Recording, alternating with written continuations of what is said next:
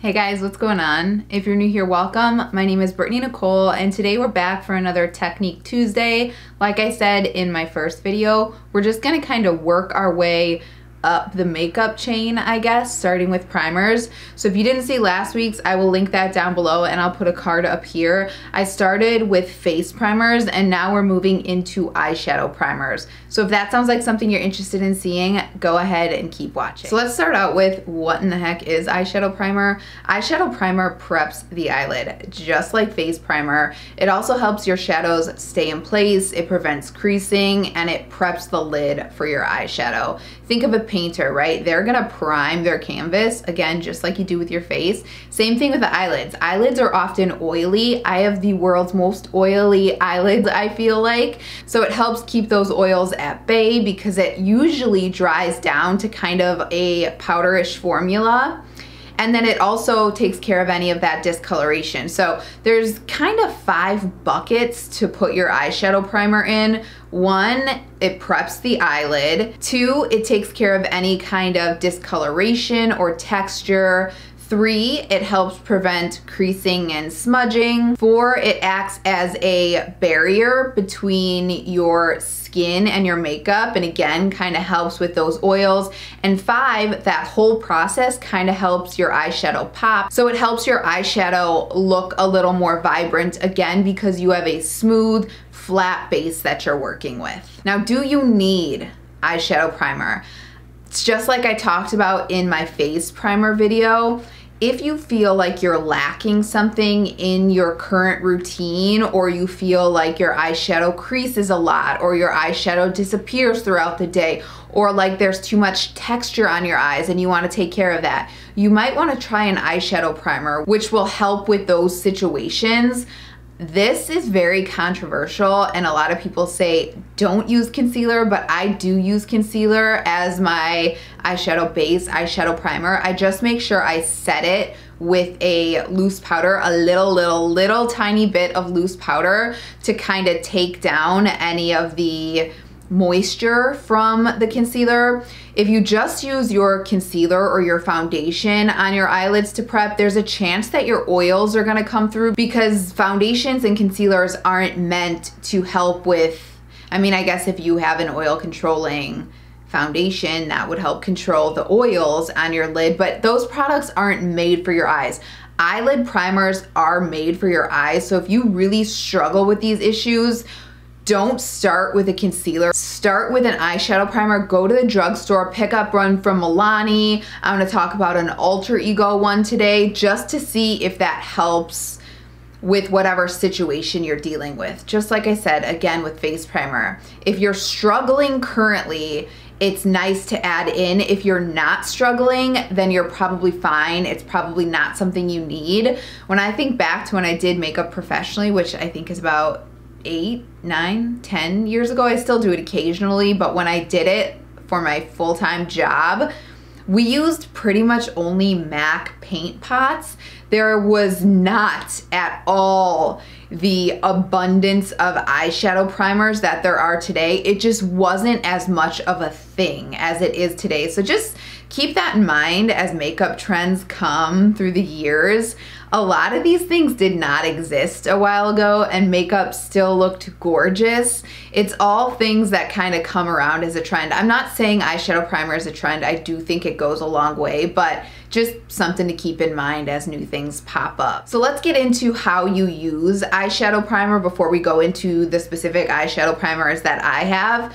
Go very light with your eyeshadow primers, okay? I can't tell you how many people I see on YouTube that P. Louise base is what comes to mind for me. I even went online actually to look at the P. Louise website and see if they had instructions on how to use it. Like a lot of it, like you see on YouTube or just a tiny bit, there's not even instructions. But every time I see someone go in with that P. Louise base, they pack that on, okay? Like, so much product and I just sit there thinking, how does that not crease throughout the day? It's just like foundation. If you're going in with a full coverage foundation and the P. Louise base is supposed to be full coverage, if you pack that on like crazy, you're gonna crease throughout the day. I would think you would at least. I've never tried the P. Louise. Like if I go in with a full coverage foundation, I'm gonna crease in these areas. I'm a human. I emote emote. I think that's the right word.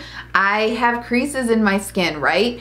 The more product you put on, the higher the chances are of creasing, and eyelids are an area that tend to crease and get oily throughout the day. So I would not recommend going in with a whole bunch of product. I would recommend going in with a very, very tiny bit of product. These products are usually very emollient and spread, so you don't need a lot.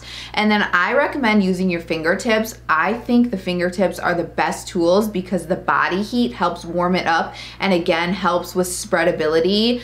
I personally, again, like my fingers best, but you know, there's tons of different things you can use. You can use brushes, you can use dense brushes, you can use concealer brushes, you can use your beauty blender, you can use fluffy brushes. Sky's the limit. Play around with the different tools available and see what works best for you. But again, I definitely recommend starting with your fingers because that body heat just does something. Now when it comes to application, you're gonna wanna apply it all the way from your lash line and then slowly blend up to the eyebrow bone.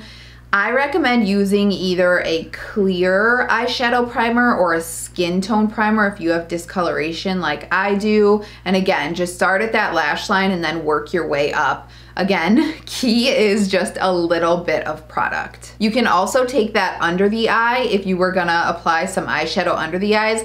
I never do that because I have a lot of fine lines under my eyes and I don't wanna add any additional product under there. I have my concealer under there already and like I said, I go in with concealer to prep my eyes typically, so I don't need it, but if you struggled with your eyeshadow fading on your lower lash line or you had some discoloration under there, I'd recommend honestly going in and, and using your concealer, but you can apply your eyeshadow primer under there as well. And like I said, if you are going in with a concealer, make sure you set that with loose powder. If you're not, your eyeshadow primer should set down on its own. And just like face primer, let that sit for a few minutes before going in with your eyeshadow. So I think I've mentioned this about 15 times now throughout this video, but my preferred method, which is controversial, is concealer. So I'm going in with the e.l.f. Hydrating Camo Concealer. You can see I only go in with a very, very little amount and I tap it out starting on the lid and then I work my way up.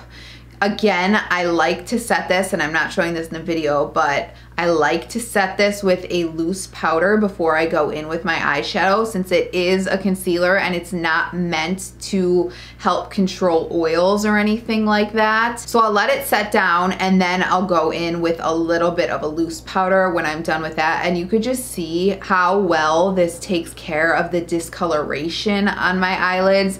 I have dry eyelids as it is, which is another reason that I go for this concealer. It's a hydrating concealer, so it doesn't doesn't dry out my eyelids anymore. One eyeshadow primer that really, really looks dry on my eyelids is the e.l.f. Putty Primer. That did not work for me at all. I don't know if they have extra product in there to take care of the oils or whatever in the skin, but that was a hard pass for me. It did not work at all. Now, if I truly am going in with an eyeshadow primer, if I've already prepped the skin and I'm just feeling crazy. I don't know.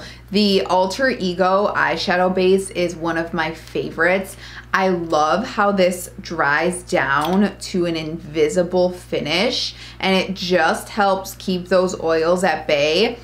I like how universal this is. With eyeshadow primers, you often see a nude color, which is not inclusive enough at all. So having something like this I think is very special. This is affordable. I never have any issues with the eyeshadow dragging. There have been some eyeshadow primers I've tried in the past where when I go in with my actual eyeshadow, there'll be some dragging. There's none of that with this at all. It's super lightweight as well. It doesn't make you feel like you have anything on your eyelids. The last thing I wanna feel like is like I've got heaviness on my lids. I already have hooded eyes, so they feel heavy enough. So I really enjoy the lightweight formula. It helps with creasing, it helps with smudging. I really, really like this formula. I think I have a 10% off coupon with them. It's not an affiliate code. I don't make a single penny. It's just to help save you guys some coin. Anytime I can do that, I absolutely want to. So I will leave that down below. But yeah, Really, really good one. Check this out. I don't have it anymore because it expired, but if you wanted to grab one from the drugstore that was kind of similar, although it does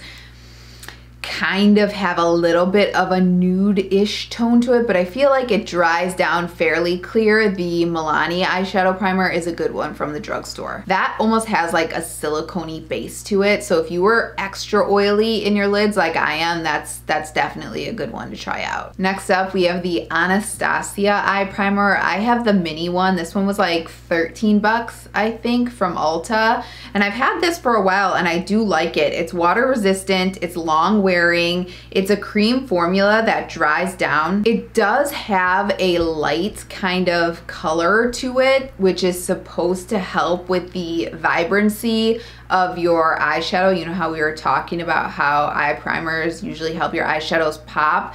That's the whole theory behind this one being light. I wish it wasn't this light. Even on my skin, it looks a little too light. So if you were any darker than me, I don't know how this would work on you. I wish they had more variety with their colors and they had a darker one as well or one that just dried down clear because the formula is really nice. It supposedly reduces fine lines, but honestly, I don't notice a difference with that. If you do have dry lids, I wouldn't recommend this one. When I have extra dry lids, this one doesn't really work for me because it does seem to dry down to kind of more of a powdery finish, if that makes sense. It's not like eyeshadow powdery finish kind of thing. It just, it dries down. And when I have dry lids, it intensifies the dryness. So wouldn't recommend this if you had dry lids, but if you had oily lids, this would definitely be a good one for you to try out. And I love that they sell a mini version because you really only need the teensiest, tiniest, littlest, ittiest, bittiest bit of this and it will cover your entire eyelid. All right, and then finally the tried and true only eyeshadow primers I used to use when I did makeup professionally. We have the MAC Pro Longwear Paint Pots. I'm using the color Soft Ochre. You guys can see this is definitely pigmented. I talked about the e.l.f. eyelid primer and how that was really dry on the eye and didn't work. This is not like that. This is a lot more hydrating and can actually work on my lids. This is supposedly sweat and water resistant. I mean, I don't think your eyeshadow would really last if you like went into a pool if you had this on as a base, but I don't know. I've never tried that. I do really like how this has a tinge of color to it and does take care of any kind of discoloration I have on my lids, which like I said, I have a lot of. So if I'm not going in with a concealer for whatever reason that day, I do often grab for a paint pot. I do feel like this kind of gives you a smooth canvas as well, takes care of any kind of texture. I don't know if it's because I've been using this for so many years, but if I'm wanting, like I said, a eyeshadow primer that has a little bit of color to it, I'm gonna grab for my MAC paint pot. These have been around for a really long time. They last a really long time as well in this container. They don't dry out all that quick. You would think they would, but just make sure after you go in with a teensy tiny bit of product to put on the cap and you'll be golden.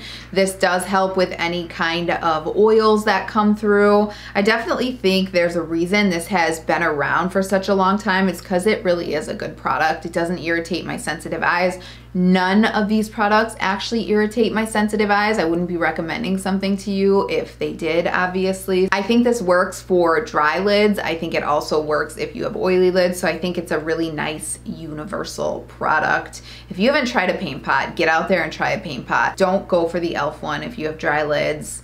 If you had oily lids, maybe go for the e.l.f. one, but if you had normal to dry to oily lids, I think this will work for you. So that is it for everything I had on eyeshadow primer. Again, if you have a routine and you feel like everything works perfectly, you do not need to add an eyeshadow primer. If you feel like you're missing something in your routine, an eyeshadow primer might go a long way. So I hope this video was helpful. I hope you learned a little bit of something. If you have any questions, as always, let me know down below. Otherwise, if you're interested in seeing any more videos from me, please subscribe. It means the absolute world to me. If you like this video, give it a thumbs up it helps me a lot and I hope to see you in the next one.